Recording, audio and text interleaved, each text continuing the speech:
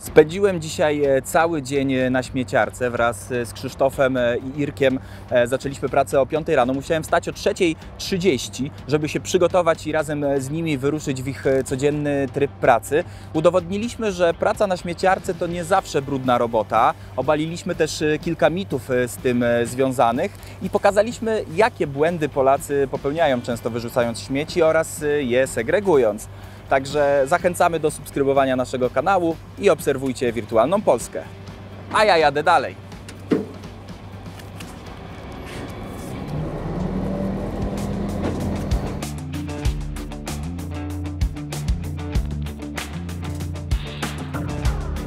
Jest piąta rano, jest bardzo wcześnie. Czy tak jest zawsze? Tak, o 5 rano zawsze przycho przychodzimy do pracy, przebieramy się, pobieramy dokumenty, sprawdzamy sprzęt, czy wszystko działa, czy wszystko chodzi. No i odpalamy i jedziemy na prasę.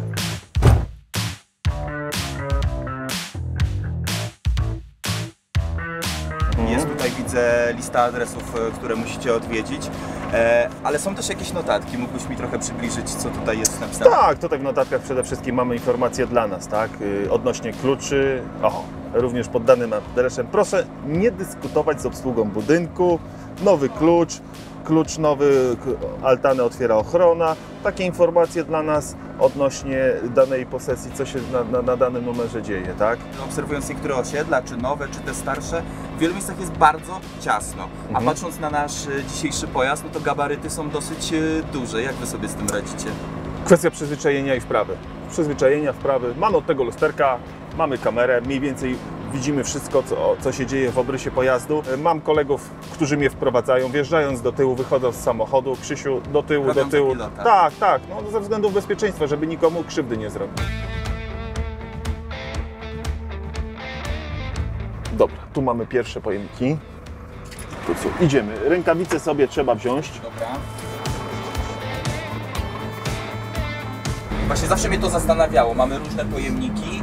Czasami pojawiają się takie głosy, jak się rozmawia z ludźmi, że a jak to jest z tą segregacją, przyjeżdża śmieciarka, zabiera wszystko w jeden pojemnik. I jak to wygląda właśnie? Czy wy na przykład y, danego dnia jesteście odpowiedzialni tylko za papier? Tak, My jesteśmy, jeżeli już to cały czas, jesteśmy tylko papierem. Ja osobiście jeżdżę na tej trasie codziennie i od, odkąd, że tak powiem, została mi przydzielona ta trasa, tylko zabieramy papier. Trzeba jeszcze dodać, że są również i śmieciarki dwukomorowe. Dlatego ludzie często się zastanawiają, dlaczego pan przyjeżdża i zabiera pan to. Tylko oni nie zdają sobie sprawy, że to jest z technicznego punktu widzenia ten samochód może, bo ma dwie komory w środku.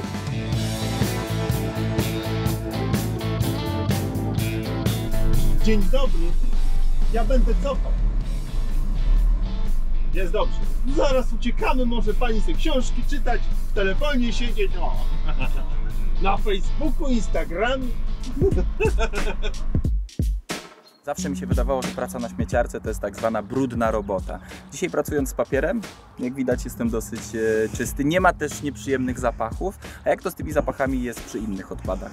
idzie się przyzwyczaić. To tak jak tutaj wspomniane, no dzisiaj mamy frakcję papier, nie mamy tego nieprzyjemnego zapachu, brudu.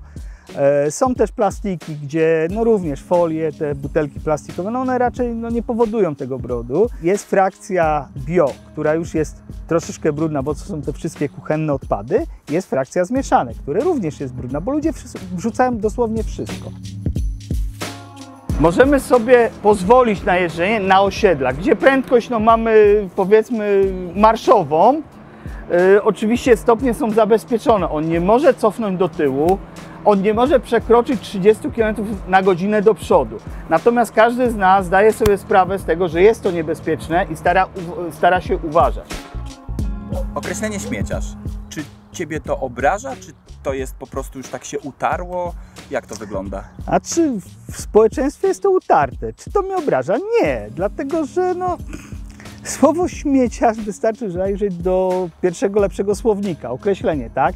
My tego nie wykonujemy, my odbieramy, jesteśmy odbiorcami odpadów, nie śmieciarzami.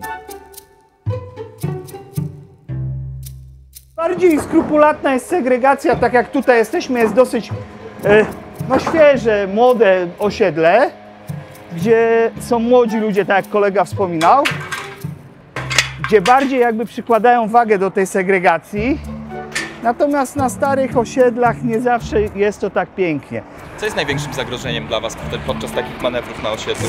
No ludzie, krótko mówiąc, dzieci biegające, rodzice niepilnujące tych dzieci, bo potrafią ludzie naprawdę wyjść, klamka wychodzi i praktycznie wchodzi bezpośrednio pod samochód.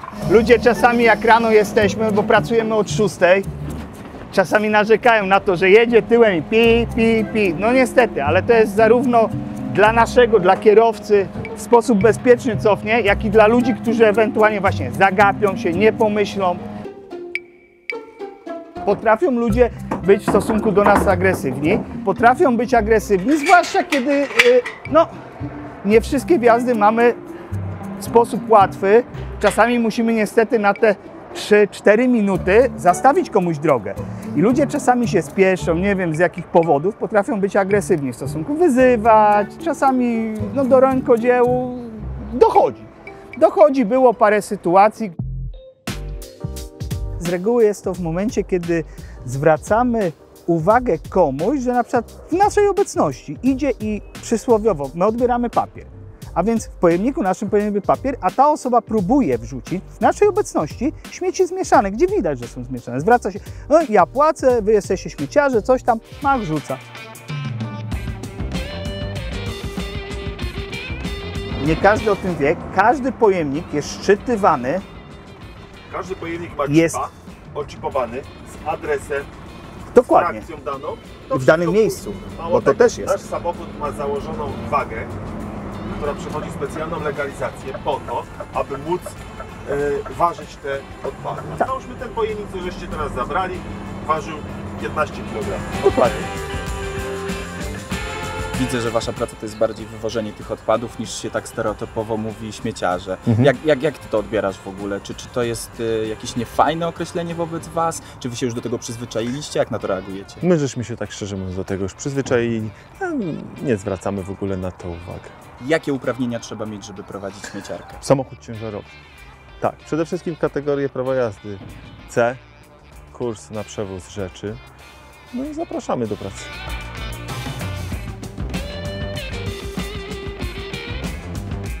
Co według Ciebie jest takim grzechem Polaków, jeżeli chodzi o wyrzucanie śmieci? Znaczy przede wszystkim nie zwracają uwagę, co do którego pojemnika trzeba wrzucać. Po prostu podchodzą do pierwszego, lepszego pojemnika i wrzucają. Czy Ty prywatnie miałeś na początku pracy coś takiego, a kurczę, głupio mówić, gdzie ja pracuję, czy Nie, nie, zajmuję? nie, nie. Nie masz czegoś w ogóle Nie. takiego. Absolutnie. Tu nie wiedziesz, bo stoi ten, Lexus, na samym wjeździe. Widzisz? On tam jest ten kolega? Nie wiem. Jak coś, to trzeba będzie zdjęcie zrobić i, i wpis. Wiecie wpis, y, czyli musicie dokumentować Eee, miejsca, gdzie tak, na przykład y, nie dokładnie. możecie wjechać, ktoś zastawił? O, jest, No panie siedzi. kochany, no ja bym chciał tam wjechać, a pan żeś mi na środku drogi stanął. No to dobrze. No.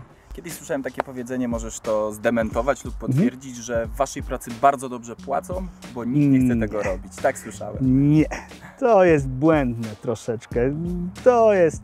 Domniemam, że to jest kwestia przechwalania się. Gdzie niegdzie to jest no, ja grubo przesadzone. Takie że 8, 9, 10 Nie. tysięcy, bo nikt nie Nie. chce pracować Nie. Od 3700 do 4,5 tysiąca na rękę. na rękę. Przy czym nadmienię, że w tym jest jedna sobota, która jest ekstra płatna.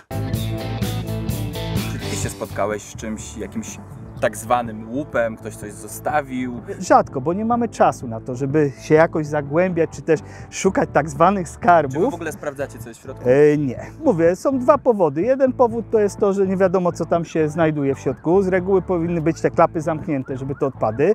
Poza tym, no grzebiąc, czy cokolwiek z tym robiąc, no to tak, szkło, jakieś strzykawki, igły, można się na to natknąć. Każdy ma tę świadomość tego, a więc nie zaglądamy, nie sprawdzamy. Ewentualnie, tak jak, jak żeśmy rozmawiali, jak człowiek otworzy i widać na zewnątrz, że, no nie wiem, jakaś szmata, kołdra, poduszka leży, a jest to papier, oczywiście przekładamy to do, do jakiegoś tam delikatu, prawda? Jeżeli chodzi o te skarby, to bardziej już na, na etapie tego tam, gdzie wysypujemy, na tych sor- sortowniach, rzekomo, bo znalazł złoty pierścionek, bo coś tam, bo takie te, tam tak.